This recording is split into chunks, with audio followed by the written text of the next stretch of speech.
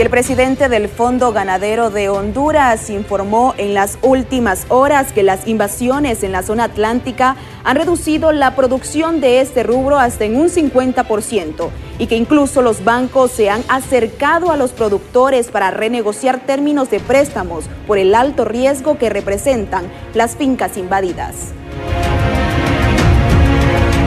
Hay solo en el sector del litoral atlántico nuevas, más de 30 casos de invasiones, ganado muriéndose, eh, ganado que está en muy malas condiciones, que sus eh, producciones han bajado a la mitad.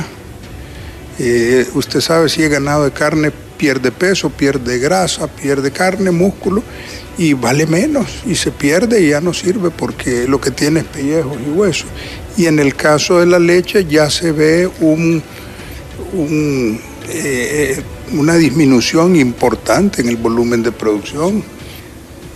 Los prestamistas ven con mayor preocupación. En nuestro caso ya, ya, ya se nos avisó pues, que tenemos que revisar las garantías, que tenemos que revisar el sistema de, flujo de caja que se le llama.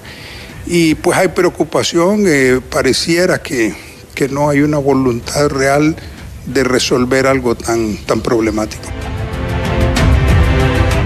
Y las protestas se continúan registrando a nivel nacional y sobre todo aquí en Tegucigalpa, exactamente en la Universidad Nacional Autónoma de Honduras. Empleados de la máxima casa de estudios se fueron a otra jornada de protesta frente al edificio administrativo para exigir la regularización de nombramientos de docentes por hora la recategorización de personal técnico de laboratorios y el pago de un 11.8% que les adeudan.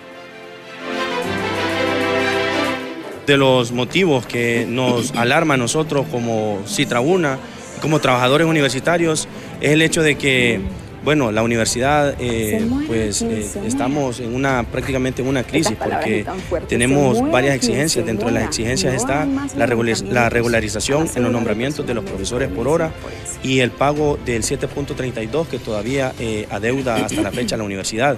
La recategorización de los asistentes técnicos de laboratorio, ya que ellos cumplen funciones de docentes y están en una función administrativa.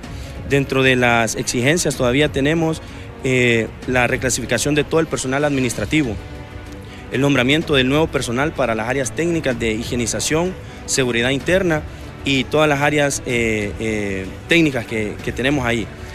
todo el respeto a todos los dictámenes médicos y el compromiso del pago del ajuste del 11.8% y su retroactivo que nos adeuda la universidad hasta la fecha.